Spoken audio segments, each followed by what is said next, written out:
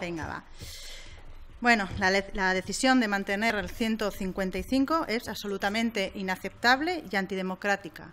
Una respuesta autoritaria que vuelve a demostrar que el Partido Popular no quiere ninguna solución para Cataluña, que tiene un presidente y un gobierno legítimo.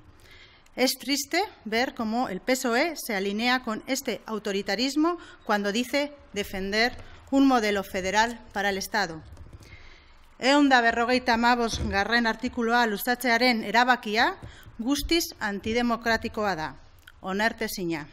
Erabaki horrek, peperen autoritarismoak argi eta garbi frogatzen du eta ez dutela inolako konponbide demokratikorik nahi Kataluniaren tzat, zeinek baditu silegizko president eta gober bat. Oso tristea da, ikustea nola pesoek men egiten dio estrategia horri, aspalditik esan dutela, duelako eredu federala nahi duela estatuan. A nosotros nos puede gustar poco o nada Torra y su gobierno, un gobierno mayoritariamente compuesto por hombres, pero no dudamos de su legitimidad. Ante esta situación, ¿qué va a hacer el Partido Nacionalista Vasco? ¿Va a volver a cambiar de opinión y hacer lo contrario de lo que dijo Eguíbar el sábado? Va a aprobar unos nefastos presupuestos generales del Estado con la extensión del 155 o van a inventarse la enésima excusa para dar su apoyo? Egoera horren aurrean, zer egigo egingo du EAJak, beste behin aldatuko du eritziz, edo egibarrek esandakoa pasadain larun batean mantenduko dute?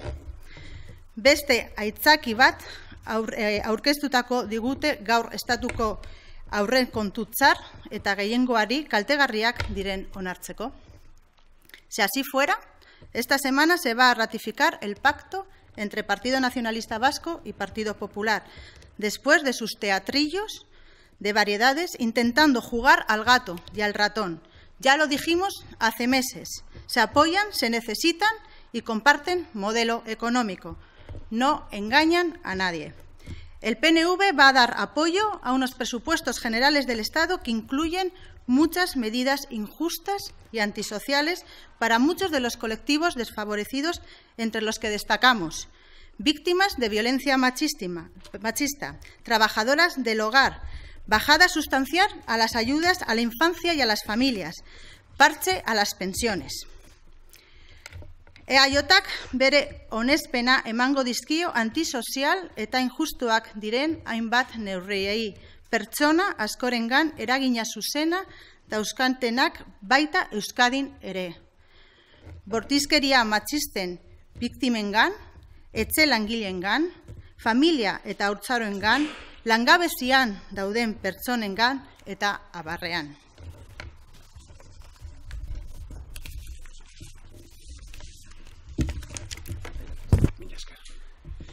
Bueno, también por lo que estaba comentando Cristina, parece que el nerviosismo del PNV estas, últimas semanas es más que evidente.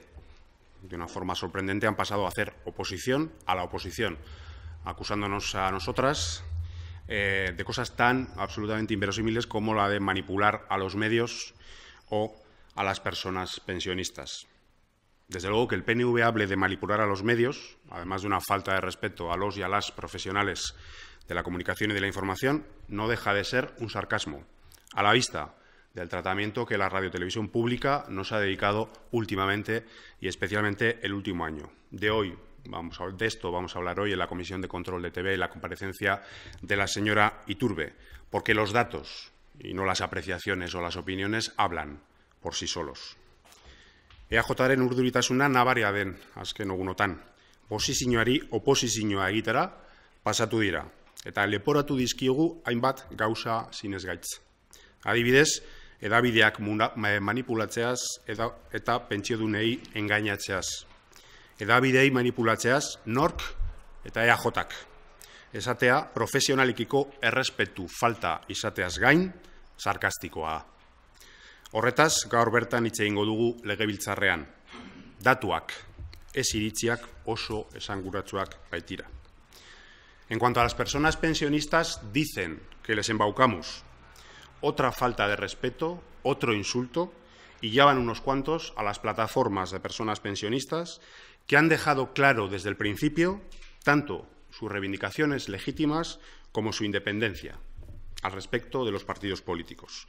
Nosotras no tratamos de embaucar a nadie, porque hemos dicho desde el principio que hacemos nuestras todas y cada una de sus reivindicaciones y de sus demandas y que nos hemos manifestado junto a ellas, junto a las personas pensionistas y junto a otros miles de personas que han querido acompañarles en estas demandas porque son los derechos de todos y de todas los que están en juego. Algo que el PNV no va a hacer porque su pacto con el Partido Popular va en la dirección contraria. Ellos no embaucan, no, eso es claro. Ellos son corresponsables, corresponsables del sufrimiento de las personas pensionistas y hacen oídos sordos a sus justas reclamaciones, así como a las de muchos otros colectivos de personas que van a ver cómo su vida empeora con estos presupuestos generales del Estado. Pentsiodunei dagokionez, engainatzeaz hitz egin du eaj Beste errespetu falta haiekiko eta enegarrena da. Pentsiodunen plataformak argi esan dute hasieratik independenteak direla eta argi esan diote EAJari konponbideak nahi dituztela ez adabakiak. Gu ez gara inor engainatzen saiatzen, ez baita gure estiloa.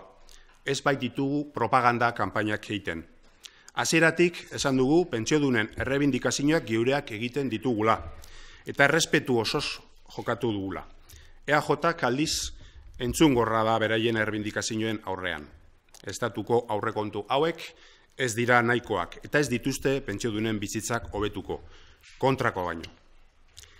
Nos acusa también el PNV, en una nota de prensa la semana pasada, de mentir y causar alarma social al respecto de nuestra propuesta de la RGI. Otra muestra más del nerviosismo que comentaba. En este caso ha sido la señora Arregui, a la que invitamos a ver íntegro el vídeo de la rueda de prensa que ofrecimos la semana pasada en el Parlamento, que ofreció el Carrequín Podemos, y a señalar las falsedades de las que habla en esa nota de prensa. Lo va a tener difícil porque no hay ninguna.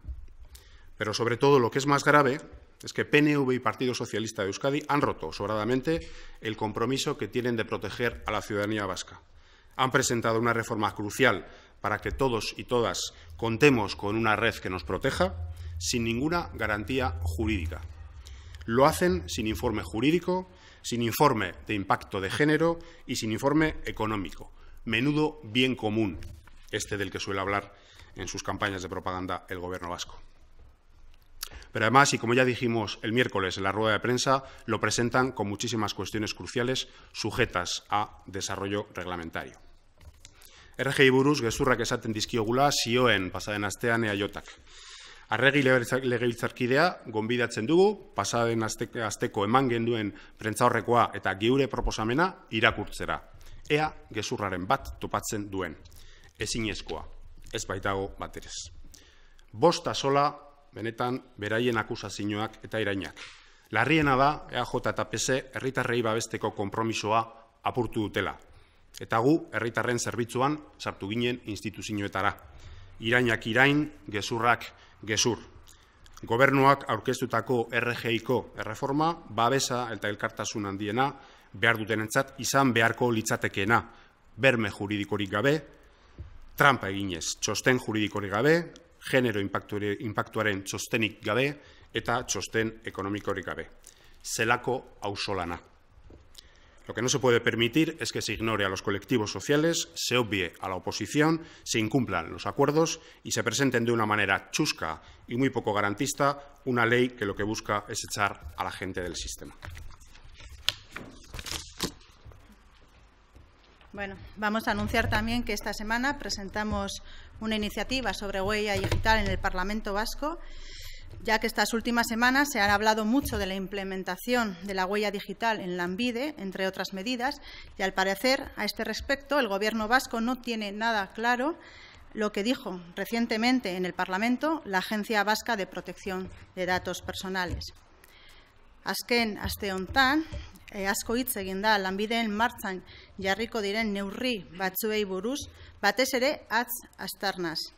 Dirudienez, gobernuak ez dauka bat ere argi zein garrantzia duten datu pertsonalek eta zer esan zuen eh, legebiltzarrean datuak babesteko euskal bulegoak. Es fundamental plantear que la protección de datos, aunque parezca una obviedad, a quien protege es a las personas dueñas de los datos. Uno de los fundamentos principales de la normativa de la protección de datos es el principio de proporcionalidad, el consentimiento y la información sobre el destino de uso de dicha medida. Funtsezkoa da azpimarratzea datuen babesak, datuen jabea babesten duela biztakoa den gauza izan arren. Datu pertsonalak babesteko arautegiko printzipioak proportzionaltasuna, onarpena eta informazioa dira. Dicho esto, presentamos este jueves una pregunta por escrito en la Comisión Europea por parte del europarlamentario Xavier Benito y una interpelación que dará lugar a una moción en el Parlamento Vasco por parte de la parlamentaria Tinisara Guanche. Hau esan da, aurkezten dugu aste honetan bertan, elkarrekin Podemosek interpelazio bat, e, mozio bat biderik emango duena, eta beste aldetik, Xavier Benito, europarlamentarioak, idatziko galdera aurkeztuko du Europako batzordean gai honi buruz. Tenemos dudas sobre el impacto que puede tener la implementación de una medida como esta y más dudas aún con el procedimiento que se está siguiendo y la capacidad y posibilidad de que el consentimiento sea realmente voluntario.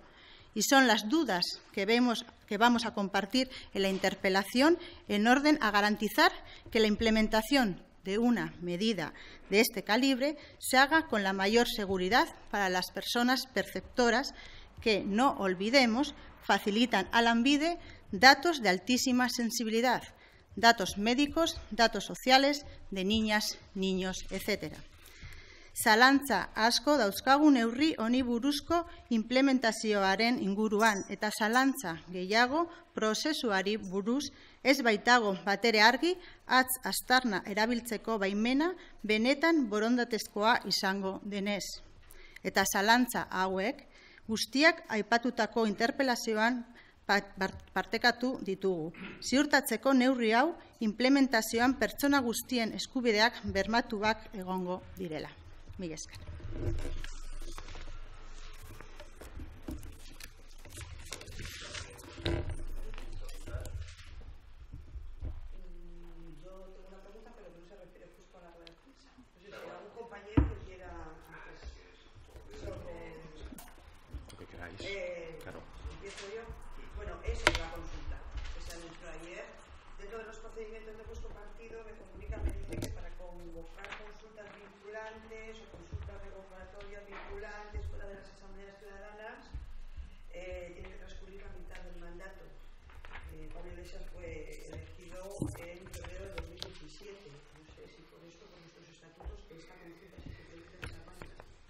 Entiendo que por lo que dices eh, hablas de una consulta revocatoria. Eh. esta consulta no, se entiende o no entendemos que sea una consulta revocatoria, sino lo que, lo que han hecho el secretario general Pablo eh, y la portavoz Irene ha sido poner sus cargos a disposición de la militancia y la manera que tenemos de hacer consultas a la militancia al respecto de muchas, de muchas cuestiones en las asambleas ciudadanas son siempre las, consultas y en este caso no se trata de, un revocatorio tal y como comentas al respecto de nuestro reglamento, sino de una consulta que se hace a las bases sobre su continuidad en sus cargos eh, orgánicos y en sus cargos públicos.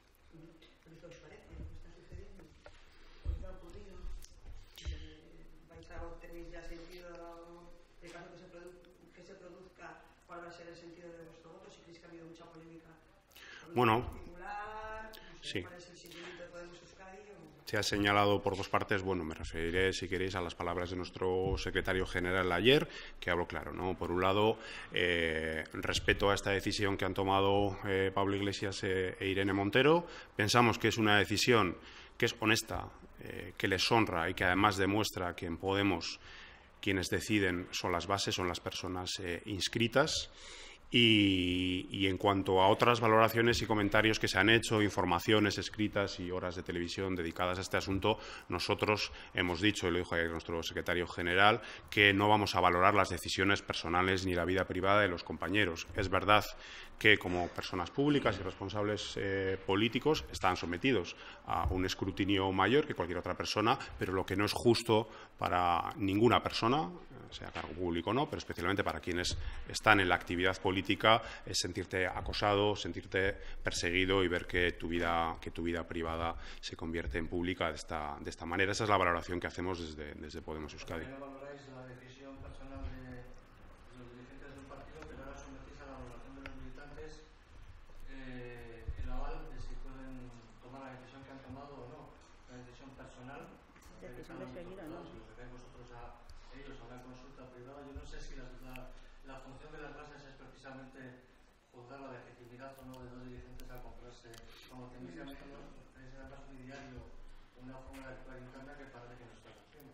Bueno, eso es una valoración que entiendo que es personal y que yo te, yo te agradezco mucho, pero insisto en que en este caso ellos, él, Pablo Iglesias, como secretario general de Podemos, como máximo responsable político de Podemos, lo que hace eh, en, un gesto honesto y sincero y que además devuelve a las bases una decisión ante cualquier duda que pudiera haber y devuelve a las bases la palabra, porque ese es nuestro estilo, eso forma parte de nuestra cultura política.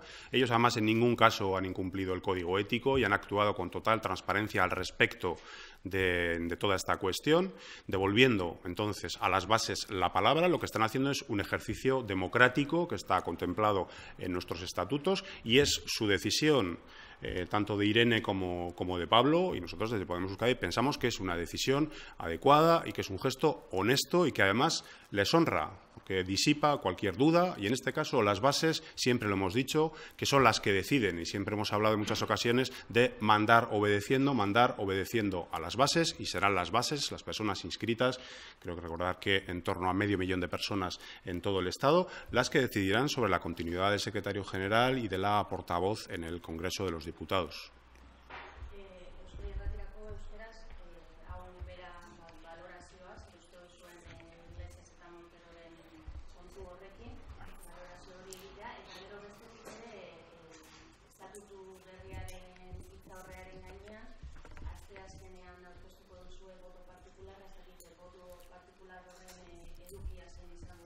Bai. E, bigar galderarekin eh, hasiko naz, bueno, alde batetik e, esan behar dugu, bueno, boto baltik partikularra idazten ari, ari garela, prestatzen ari garela, garela, baina jarraitzen dugu esaten hasieratik esan genuena eta guztion ituna e, dokumentuan aurkeztu genuena, hau da, guk bilatzen dugula da akordio transbertzala, kontzentzuzko estatutu bat, gizarte osoarentzat, eta geuretzat oso garrantzitsua da eta izango da estatutuan alde edo azpimarratzea estatutu hori soziala izan behar dela eta ez identitarioa.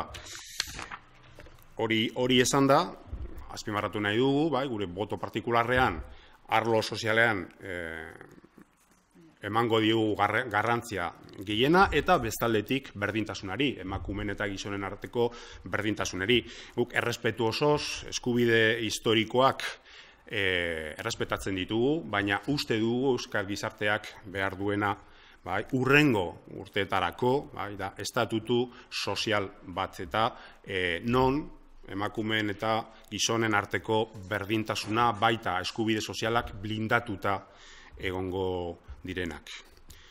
E, hartutako erabakia, bai, Pablo Iglesias eta Irene Monterok, bai, zapatuan, e, esan, esan zuten ari buruz, bueno, Podemos Euskaditik atzo bertan, gure idazkari nagusiak egin zuen e, balorazioa gaur bertan, bai, errepikatzen du, errespetu, errespetu osoz, osoz e, zaten du, bere, beren erabakia, eta orain, bueno, demokrazia, e, demokrazia jarduera, ez barkatu, demokrazia e, beste etxemplu bat izango da, ze Podemosen bai, e, baseak erabakitzen dute, eta erabaki honekin basek izango dute aukera erabakitzeko beren jarraipena bai alderdian, bai kongresuan.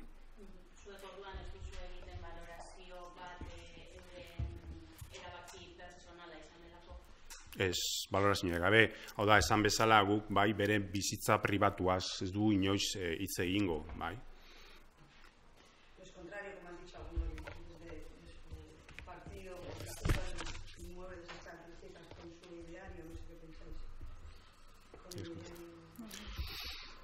Contraria no, ustedes comprarían una casa así. Hombre, ya estás haciendo una, pregunta que es demasiado, que es demasiado personal.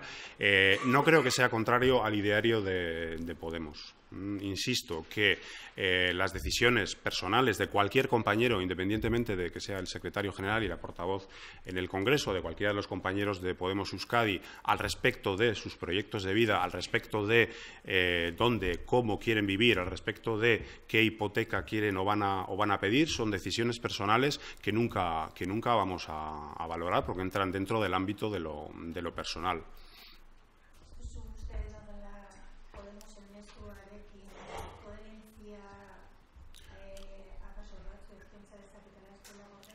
Bai, batzuek pentsa dezakete, bai, hori, baina uste dugu ez dela bat ere mm, ez da kontrasankorra, bai, hartutako erabaki hori da pertsonala, da nola e, bere bizitza, bizitza proiektua aurrera ateratzea, euren erabakia eta guk ez dugu inoiz, bai, e, bere bizitza pertsonala e, hori zalantzan jartzen.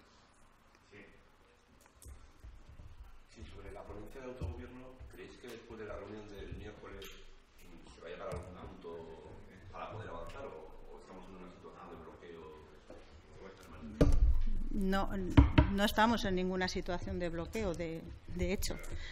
Lo que ha ocurrido es que eh, EH Bildu ha dado por hecho que había un acuerdo que no era tal. Lo que va a pasar en la ponencia del miércoles es que nosotros vamos a llevar un voto particular en relación a lo que nosotros pensamos que debe tener un- un- el preámbulo y, se va a seguir adelante con el resto de títulos que, supone, eh, que tiene que tener un estatuto.